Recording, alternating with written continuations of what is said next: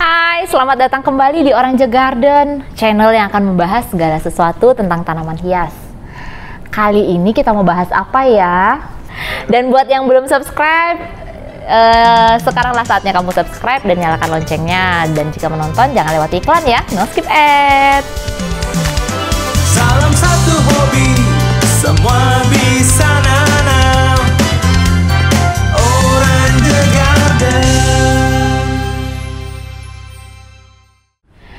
Nah, teman-teman, kali ini kita mau kenalan sama si Singonium. Nah, Singonium merupakan salah satu genus dari famili Araceae.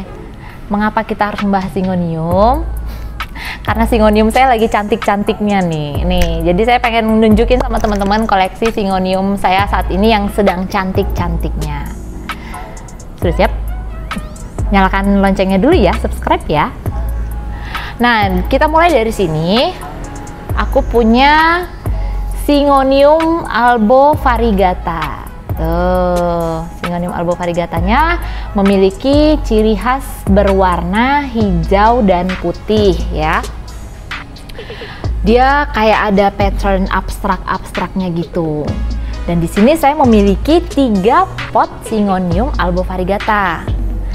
Mengapa bisa sampai sebanyak itu? Memang karena Singonium eh, yang jenis ini merupakan salah satu Singonium yang fast grower ya. Dia cepat berkembang, cepat punya eh, akar angin, cepat punya daun baru gitu. Jadi dia memang salah satu tanaman yang nggak rewel dan gampang dipropagasi. Singonium juga disebut dengan tanaman arrowhead karena dia bentuknya seperti busur panah. Nih, jadi dia kayak menjadi busur ini ke depannya dan ini ke belakangnya kayak orang lagi busur gitu. Dan bentuk daun dari versi mudanya sampai versi ma- mature-nya atau dewasanya itu bisa sangat-sangat berbeda. Seperti ini kita lihat dia bentuknya kayak gini aja memanjang dan ada kayak telinga kelinci. Sementara kalau dia mature-nya, dia akan berbentuk seperti ini. Nah, jadi udah ada tiga daun. Bahkan nanti kalau sudah makin tua dia kayak eh, misah gitu dia, misah dari sininya. Jadi kayak bener-bener lepas ada tiga daun. Nah, ini bentuk yang sudah mature dari si Singonium. Nah, apakah terus kalau mature apakah dia langsung berikut-berikutnya akan mature lagi? seperti di sini kita lihat ya ini kan dia mature lalu saya cut potong ini daun-daun pancingnya saya potong ternyata kalau dia sudah ditanam dia bisa kembali ke bentuk mudanya lagi. Nih daunnya kayak gini. Tuh.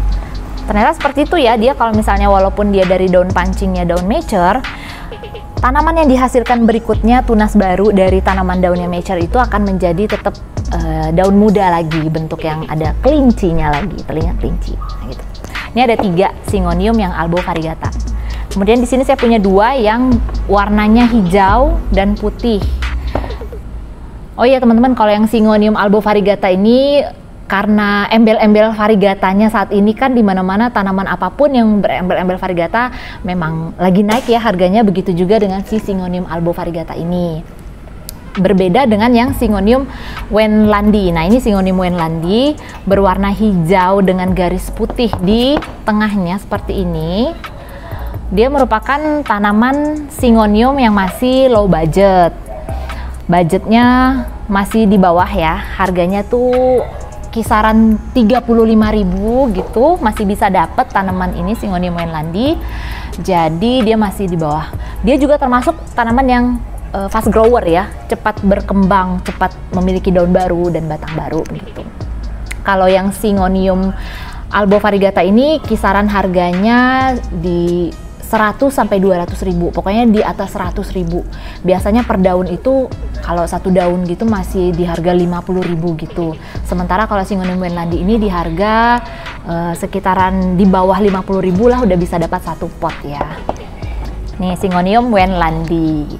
Sekarang juga ada Wenlandi yang variegata-variegata gitu, biasanya disebut dengan Singonium scramble egg. Dia jadi kayak telur dadar. Lanjut di sini aku punya, ini aku geser dulu ya. Di sini ada Singonium yang harganya cukup mahal harganya cukup tinggi dibandingkan si Singonium Wenlandi dan Singonium albovariegata itu. Di sini Singonium pink. Pink perfection. Tapi saya juga masih agak ragu-ragu ya sebenarnya Singonium pink ini juga banyak. Ada pink neon, ada pink pink neon robusta, ada Singonium pink, ada pink pink perfection, ada pink flag, banyak banget Singonium pink itu Nah, tapi sebenarnya memiliki ciri-ciri khas yang uh, spesifik ya. Seperti kalau kayak pink perfection itu di di tepi-tepi daunnya itu bergerigi. Nih, kayak gini ya. Gitu. Kalau pink perfection biasanya dia akan berwarna pink terus ya, mau sampai dia dewasa, sampai uh, atau dari anak-anak kecilnya itu masih mudanya dia berwarna pink. Nah, ini saat ini tanaman Syngonium Pink Perfection ini harganya masih di atas rata-rata di nominal 500.000 spot begini. Biasanya juga ada yang di bawahnya 400.000 gitu ya atau 600.000 juga ada. Bahkan ada juga yang kalau misalnya warnanya itu cantik banget pinknya, Pink Perfection itu bisa seharga 900 sampai 1 juta. Uh tapi memang sebanding ya dengan tampilannya yang cantik sekali. Nah ini Singonium per Pink Perfection saya di harga 500 ribu. Cantik nggak? Cantik aja ya. Nah kemudian ada lagi Singonium yang harganya juga tinggi. Nah di sini saya punya Singonium Yellow Variegata. Tuh.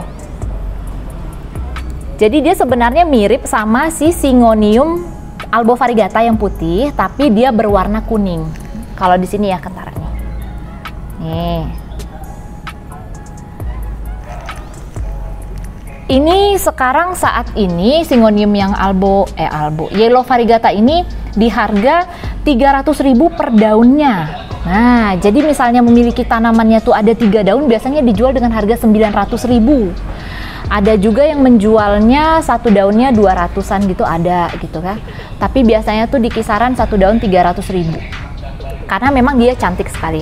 Nah tapi teman-teman jangan sampai terkecoh dengan singonium kuning yang berasal dari albo variegata nah teman-teman bisa lihat di sini ya si ini kan singonium putih tapi dia tuh kayak kuning-kuning gitu Nanti teman-teman akan bisa menemukan singonium putih yang berubah jadi kuning seperti ini.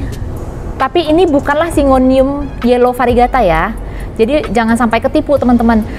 Ini adalah singonium putih yang berubah warna jadi kayak agak-agak kuning, agak-agak kuning. Tapi kalau singonium yang kuning, dia memang benar-benar kuning. Tuh, ini kuning.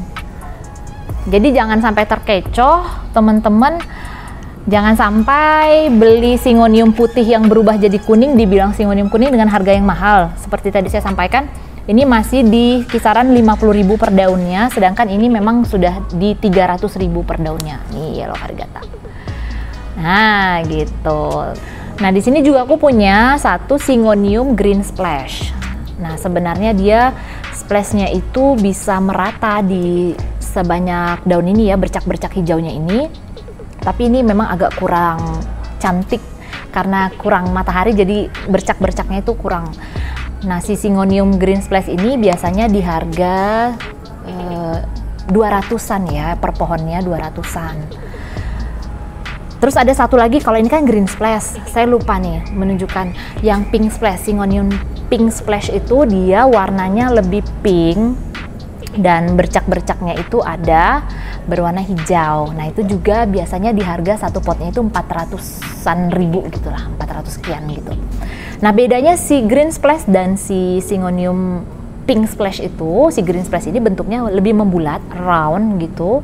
Sedangkan si pink splash bentuknya lebih seperti ini ya, lebih yang arrowhead gitu dia, lebih slim. Sedangkan kalau yang si green splash bentuknya lebih membulat. Nah, kemudian di sini teman-teman saya juga punya Singonium mojito atau yang dibilang Singonium motut juga ya ada. Ini juga merupakan Singonium yang lagi naik daun. Harganya juga agak tinggi. Saat ini satu pot ini bisa di harga 400.000. Nih, satu pot ini bisa harga 400.000 atau beda-beda tipis lah ya, bisa jadi ada 500, bisa jadi juga 300. Tergantung ukuran daunnya. Biasanya kisaran satu daunnya 125.000 gitu. Tuh. Nah, Singonium mojito ini juga sering dikeluhkan durhaka. Jadi di, dia misalnya awalnya daunnya kayak gini, banyak totol-totol bentol-bentol begini, lama-lama dia bisa hilang. Di sebagian plant parent mengeluhkan warnanya di akhir-akhir kehidupannya makin hilang, jadi kayak hijau aja daun hijau aja. Nah, jadi kayak pada mulanya kayak gini nih. Pada mulanya kan dia memang hanya hijau aja gitu. Nah, untuk menjaga agar motifnya ini tetap bisa hijau putih yang bagus, teman-teman perlu menempatkan singonium di tempat yang mendapatkan matahari pagi secara baik. Nah, jadi dia harus mendapatkan asupan matahari yang baik.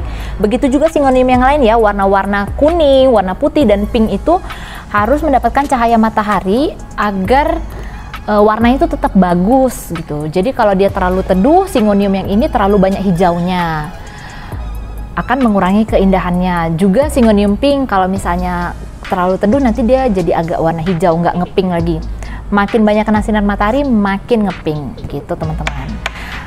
Nah, terus untuk penyiramannya, singonium ini kita bisa siram 2 sampai 3 hari sekali atau jika tanahnya sudah kering, media tanamnya sudah kering, kita bisa menyiramnya. Untuk pemupukannya juga bisa dilakukan satu bulan sekali menggunakan pupuk NPK. Atau jika teman-teman repot, teman-teman juga bisa menggunakan pupuk slow release yang bisa kita campurkan di media tanamnya setiap enam bulan sekali. Jadi setiap enam bulan sekali media tanamnya bisa diganti, sekalian diberikan uh, pupuk slow release-nya. Begitu teman-teman. Nah itulah updatean harga Singonium koleksi dari Orange Garden. Semoga video ini dapat bermanfaat buat teman-teman. Jadi jangan terkecoh harganya kemahalan atau kemurahan.